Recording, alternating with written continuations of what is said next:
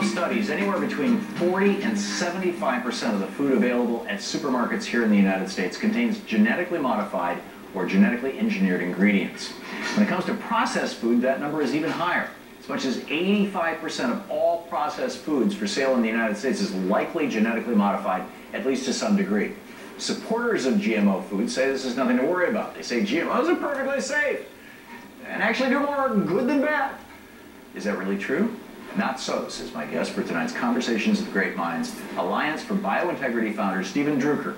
Druker is a veteran public interest attorney whose work has exposed the truth about genetically engineered food and the government's cover-up of the evidence. His new book, Altered Genes, Twisted Truth, how, to, how the venture to genetically engineer our food has subverted science, corrupted government, and systematically deceived the public, is a must-read for one of the biggest scientific frauds of the century. Steven Druker, great to have you with us. Thank you for inviting me. Thank, uh, you're, you're an attorney by training.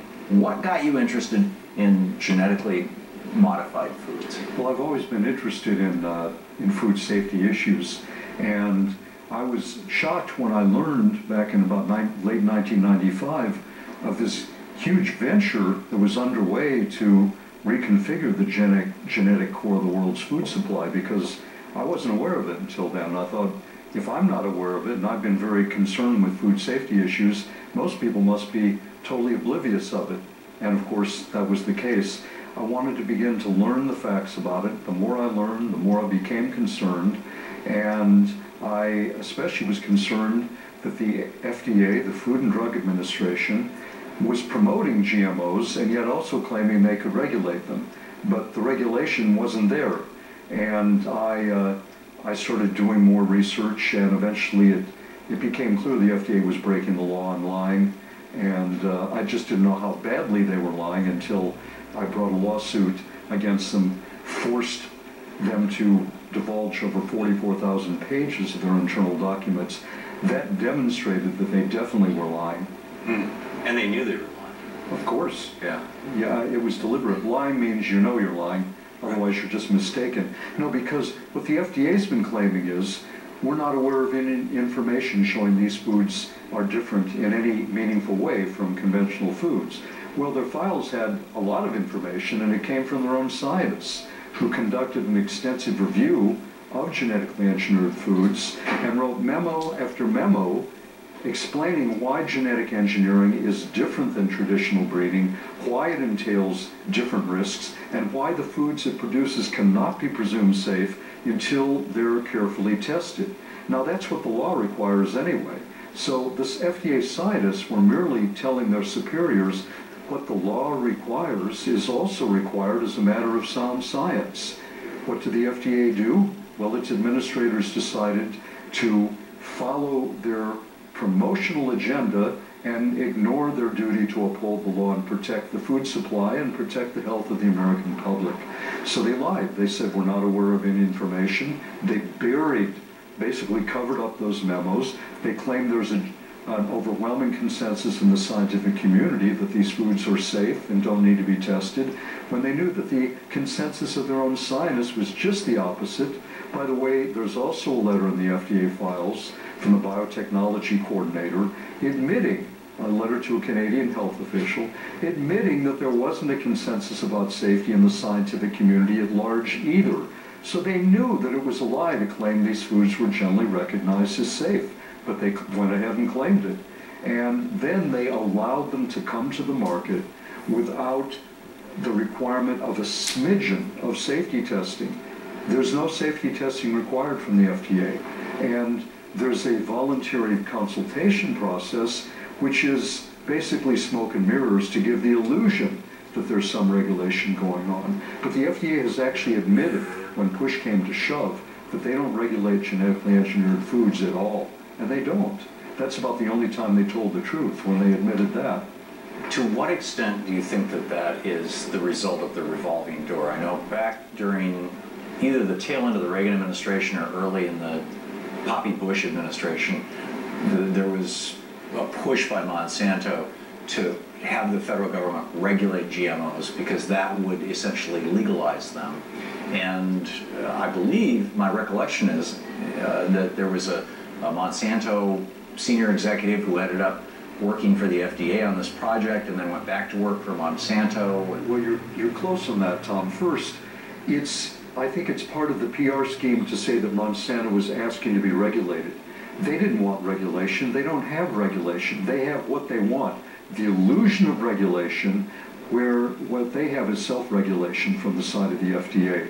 It's the illusion of regulation, and even the fact that that story's been able to float in the mainstream media that Monsanto wanted to be regulated, that's just a bunch of hooey. Mm. And Monsanto, look at the policy.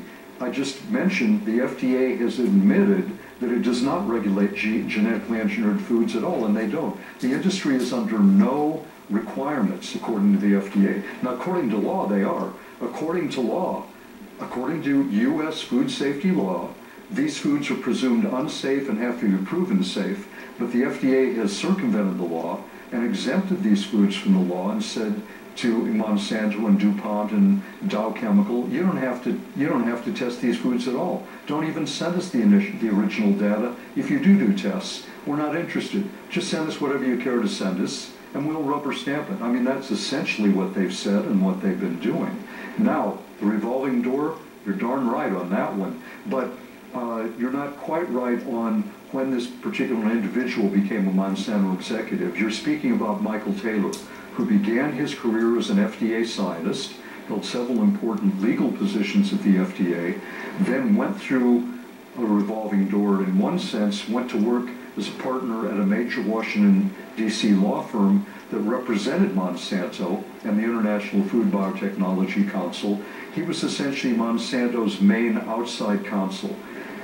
Uh, in the, in the summer of 1991, the FDA basically brought him back as Deputy Commissioner for Policy. And that essentially to shepherd uh, through the policy on genetically engineered foods. So it was that lax policy that came into place while Michael Taylor, uh, who had been Monsanto's attorney, was in that sensitive position. After he gave Monsanto, or the FDA, while he was there, gave Monsanto everything it wanted, uh, one assumes that he had quite a heavy hand in it. He got hired directly by Monsanto as vice president for public policy at their Washington office. Essentially, Washington became Washington's chief lobbyist for Monsanto. Amazingly, he's back at the FDA now. President Obama appointed him back, uh, I can't remember, I think a year and a half, two years ago. He's basically, they call him the food czar. He's in charge of all food safety at the, at the uh, FDA. So talk about a revolving door. That is the one of the grossest examples, and somehow there's been no big complaint, official complaint. How are they getting away with it? That's amazing. It's like a trampoline. It's. Um, let's go back to first, uh, back to the beginning before we drill a little deeper into GMOs here. Gregor Mendel back in the day, you know, came up with this uh, Mendel's square, you know, the idea of, of uh, how do you breed uh, sweet peas, I think it was. Yeah. And and uh, you know, most people think that hybridization, breeding, things like that, that, that GMOs, genetically modified organisms, are just a high-tech variation on that. Yeah. You suggest in the book that that's not the case. I don't just suggest, I just declare it is not the case, and I demonstrate that it is not. In fact, you call it hacking genes rather than... Yeah, it's much closer to biohacking when we look at it from the standpoint of software engineering and computer science. But when we stay within the realm of bio biological science, it also is a radical break with traditional breeding. Uh, Nobel laureate biologist uh, George Wald, who was a professor at Harvard, stated that genetic engineering represents the biggest break in nature that has occurred in human history. And he said it should not be uh, mixed up or mistaken for any previous human intervention in the natural order. So this is not at all the way the currently uh, genetically engineered crops have been created bears really very little resemblance to traditional breeding through sexually available pathways. And it's a radical change, and it entails different risks. And uh, again, the FDA scientists said that, many eminent scientists have said that, who understand the facts and who are, who are not afraid to tell the truth. And an eminent molecular biologist who was a plaintiff in the lawsuit I organized against the FDA declared at the press conference we held in Washington, D.C., announcing the press conference that those uh, scientists who claim that genetic engineering is essentially the same as traditional breeding. He said they're perpetrating a sham and, and they should be ashamed of themselves. And then he said the reporters, and you can quote me on that. Unfortunately, none of them did. Who got quoted? The shills for the industry. So there, there's a media shutdown. Well, I'm not sure exactly the reason, but we know it's happened. There's an entire chapter in my book titled Malfunction of the Mainstream American Media, Pliant Accomplices in Cover-Up and Fraud. And they are. The mainstream media has abetted the FDA's fraud and the disinformation campaign of the industry. They have covered up the evidence of the FDA fraud. I have, uh, uh, at another press conference, given the media basically the information from the FDA's own files showing what their scientists actually said, showing how their concerns were covered up. That does not get published. Is It just doesn't get published in the mainstream media. It got published in European media, Is that, is that because uh, uh, genetically modified, the companies that do this are big advertisers? Is it because they have interlocking boards with these giant media corporations that now control most of our media? I think both of those. And in fact, but it is interesting that the founding director of the uh, FDA's Office of Biotechnology, Dr. Henry I. Miller, who was with the FDA many years, stated in a newspaper interview that when it came to biotechnology, the federal executive agencies have done everything that the biotechnology uh, biotechnology industry asked them to do and told them to do. He even admitted we did what they told us to do. They were calling the shots. They weren't just making requests. They were giving orders. Wow. So, uh, to the FDA. Well, apparently, according to what Dr. Miller has said, asked them to do and told them to do. In addition to embedding their people in the FDA. Yeah, well, Yeah. that was, perhaps they were told to do that too. I mean, I'm assuming Michael Taylor's not the only guy. No, not at all. There's been a tremendous revolving door uh, on, well, on many issues we know, but it becomes the most glaring and unsavory, I think, of all of them when we look at the GMO issue. Just, you can look at FDA and USDA and US Trade Representative back and forth from government to Monsanto, either the board of directors or an executive some other position with the industry, another player in the industry. It stinks. It really does. And somehow they keep getting away with it. It's amazing. More of tonight's conversations with great minds. We're going to drill down into what this really means with Steven Druker right after the break.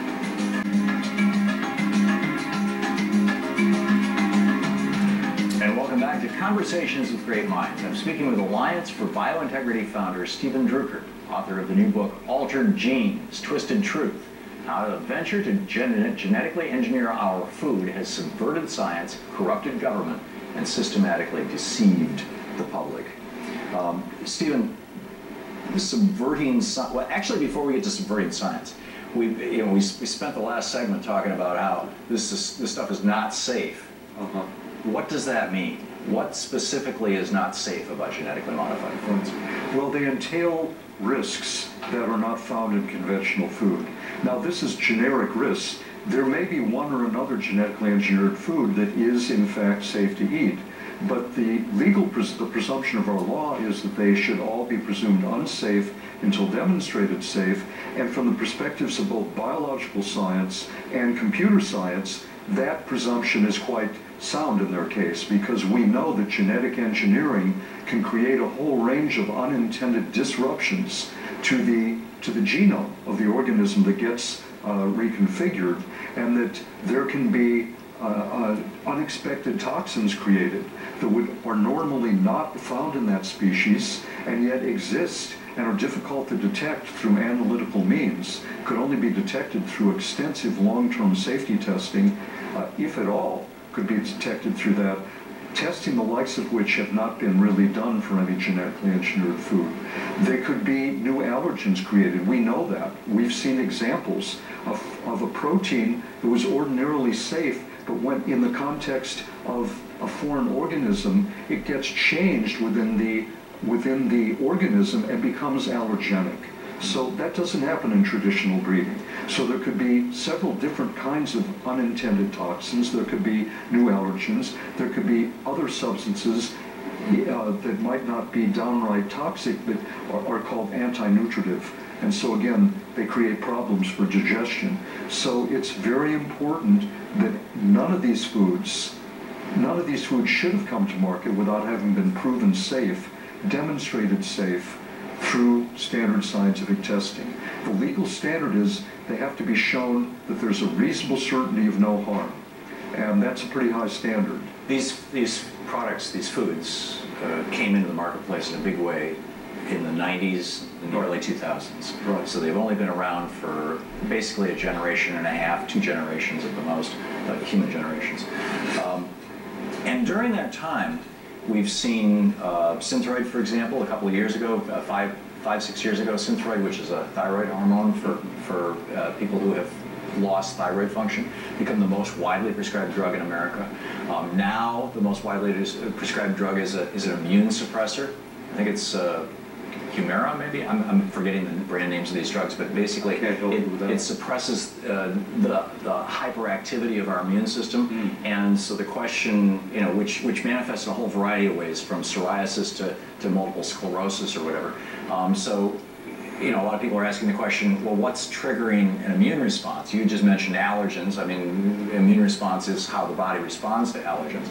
Um, we've seen an explosion in autism. We've seen an explosion in, in uh, obesity.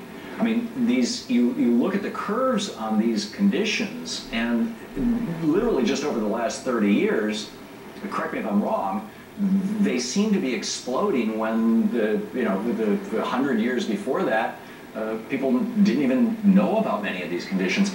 Is it- is it possible? Is there evidence that genetically modified foods are associated with any of these things that I just described? Well, it, there's correlation. Uh, there, as far as I know, there hasn't been hard proof yet, but that would be hard to do, difficult to do right now. There haven't been epidemiological studies. There should have been, but there haven't been. In fact, it's almost impossible to do them without labeling. That's one of the reasons. Arguably, isn't isn't a, an epidemiological study going on right now in the United States? We're all the guinea pigs. Well, it's not, compare a- us to. it's not an experiment, that's the problem. People are dying right now, or people getting these diseases, if it, if one or another is, asso- is caused by one or another genetically engineered food, which has not been ruled out, uh, we don't know it. So actually, it's not an experiment. An experiment means if something bad happens, you know it and you know what caused it because you've controlled the experiment. This is an uncontrolled uh, gamble, so it's not even appropriate to call it any kind of an experiment because people could be dying from these foods now and for years to come and we wouldn't know it. We wouldn't know what the cause is. So it's not an experiment. There should have been experiments on laboratory animals before any of these foods came out. So it's a reckless gamble with the health of Americans. Uh, the, but again, we don't know for sure. Now, the important thing is none of these foods have been proven to be safe, and they should have been. And as you and I were discussing during the break, the very first ingestible product of, of uh, genetic engineering did cause harm. We know that. It caused a major epidemic back in 1989 and 1990, killed dozens of Americans, seriously sickened, according to CDC estimates, between 4 and 5,000 people. Hundreds of those people are still invalids. And that came from ingesting a product created through genetic engineering. And as my book demonstrates, the weight of the evidence points toward genetic engineering as the source of that unusual toxic contamination that caused the epidemic. and that product was L-tryptophan. Yes, it was a supplement of the food, uh, it was a supplement of L-tryptophan, a safe essential amino acid Right. that The, became highly contaminated with an unusual toxin or toxins. right, that normally you'd find in food. Um, back to back to the. This is not an experiment.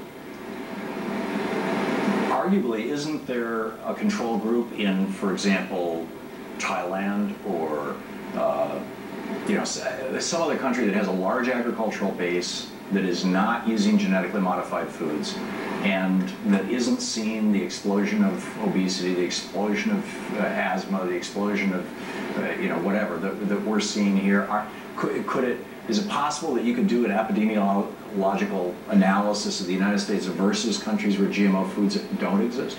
Possible, now, I'm, I'm not an epidemiologist, so, you know, I think you could get some interesting, uh, fill in the gaps a little more in our knowledge, but I have a feeling in terms of just a, a study that really could be published and say we have established a link as solidly as the link has been established between smoking cigarettes and lung cancer, I don't, I think you'd have to do a much better study than that because you can't control for all the variables between populations in other countries and here. There are many other uh, other changes that could be accounting for things. So you've got to really try to control for every variable and only have the difference the one you want to test. You, uh, in the title of your book, uh, the subtitle, How the Venture to Genetically Engineer Our Food Has Subverted Science, Corrupted Government. We've talked about government corruption and systematically deceived the public. We've talked about that. Talk about the subversion of science itself.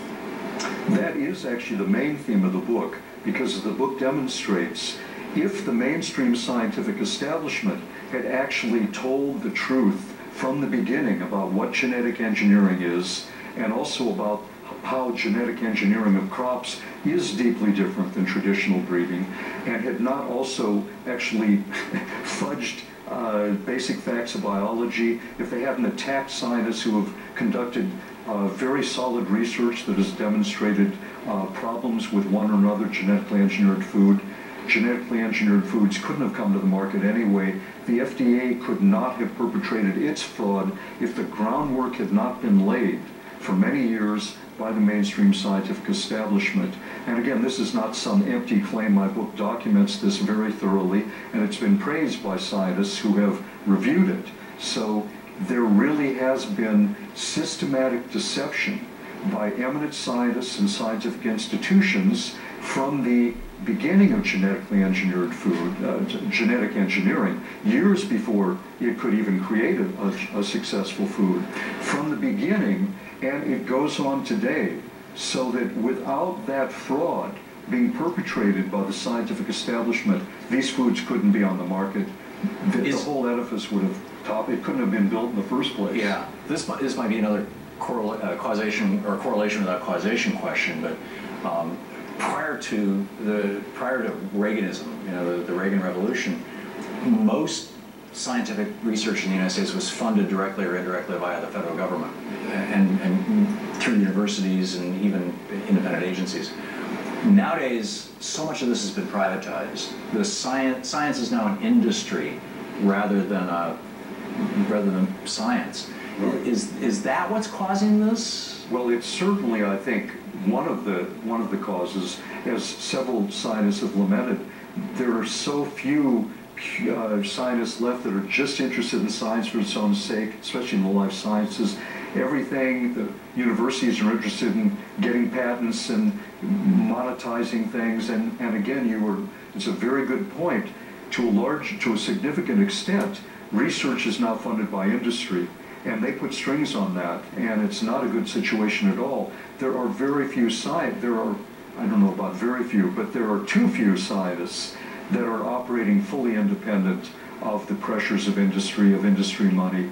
I mean, you look at so many universities, the Monsanto Hall for this and the DuPont Pavilion, and there are so, so much money being donated to universities that are research universities by the industries. I mean, just like they contribute to campaign contributions of of uh, senators and representatives, they're also contributing to universities and science departments. Pre and they, you know, money gives you a lot of power and control. Yeah, and pre 1980, that was considered corruption.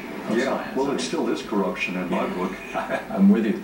Uh, in the minute and a half or so we have left, you, you talked, you mentioned that this is like hacking uh, there's a chapter in your book about how, uh, drawing parallels between software and genetically modified foods. Yeah. I, I, we have very little time, right. can you want to summarize yeah. It's called Overlooked Lessons from Computer Science. And the inescapable risks of altering complex information systems. We know, we meaning the human race, know through uh, decades now of computer science that even when information systems become big enough and complex enough, you cannot revise them and presume that you will not create any unintended consequences. We know that. Even systems that the human mind has created, and if the software engineer that wrote that system tries to make a precise change that should be clearly predictable and surgical, we know you can't presume that it's precise. They become too interactive and there, there's a risk of unintended consequences, and that's why in life-critical systems, software systems that guide an airplane or guide a pacemaker, uh, the, there has to be rigorous testing and retesting after any even precise revision. What happens in the, in the field of genetic engineering? The, the biggest, most complex, interactive information systems on the planet about which we know very little are being radically revised, and they say are safe. Steven Druker, brilliant work. Thank you. Thank you so very for much. To see this and other conversations the great minds, go to our website conversations at conversationsofgreatminds.com. And that's the way it is tonight, Thursday, July 30th, 2015. Don't forget, democracy begins with you. Get out there, get active, tag, you're it.